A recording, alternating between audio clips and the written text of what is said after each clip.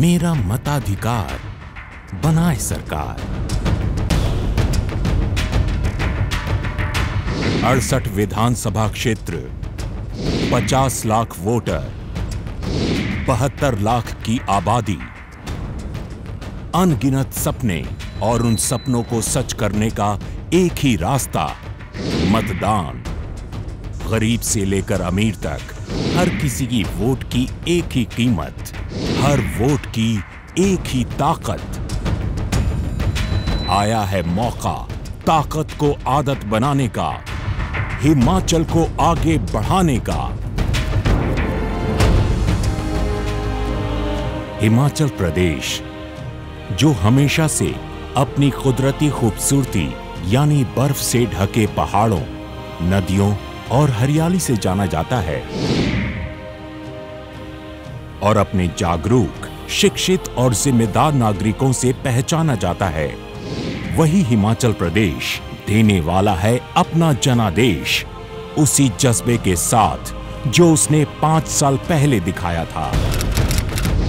4 नवंबर 2012 ये वो तारीख थी जब हिमाचल के जज्बे को पूरे देश ने सराहा मौका था विधानसभा चुनावों का और हिमाचल प्रदेश की अड़सठ सीटों पर अपने प्रत्याशी चुनने का।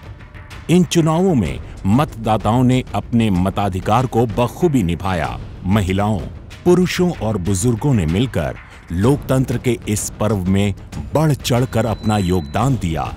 इन चुनावों में प्रदेश के तिहत्तर दशमलव एक प्रतिशत मतदाताओं ने अपना वोट डाला, जिससे पिछले सारे रिकॉर्ड ध्वस्त हो गए। इन चुनावों में पचानवे साल के श्याम सरन नेगी ने भी वोट डाला। नेगी 1951 के आम चुनावों में सबसे पहले वोट डालकर भारत के प्रथम वोटर बने थे और पिछले छियासठ साल से उनका यही जज्बा आज भी कायम है। 2017 अब एक बार फिर से मौका आया है अपने प्रत्याशी चुनने का।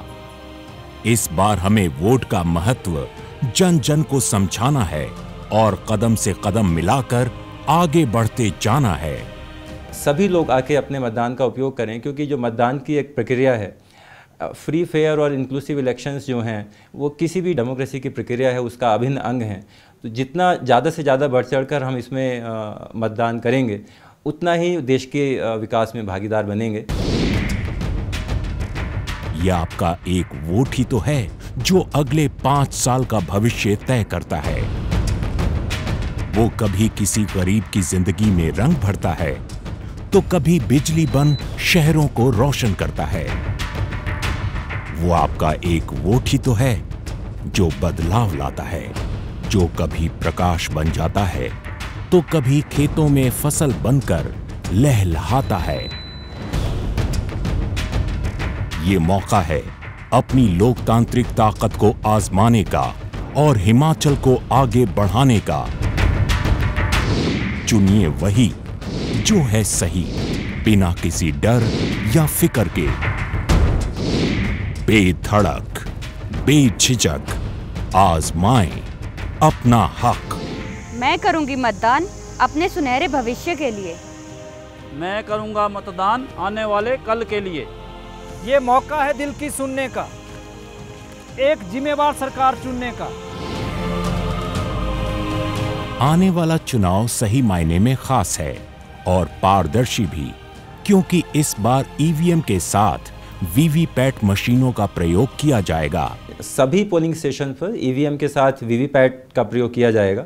जिसमें जो मतदाता है, वो एक पेपर ट्रेल पर कैंडिडेट का नाम देख सकता है, जिसको उसने मतदान किया है, और वो कंफर्म कर सकता है उस पेपर ट्रेल को देखकर कि उसने जो मतदान किया है, वो उसी के पक्ष में गया है, नहीं गया है। तो हम विभाग की तरफ़ से एक पूरी कैंपेन चलाई जा रही है, जिसमें हम कोशिश कर रहे हैं कि इसके बारे में सभी को अवेयर किया जाए। जन जन ने अब ये ठाना है, अपना मताधिकार निभाना है। एक सशक्त कल के लिए। एक बेहतर हिमाचल के लिए।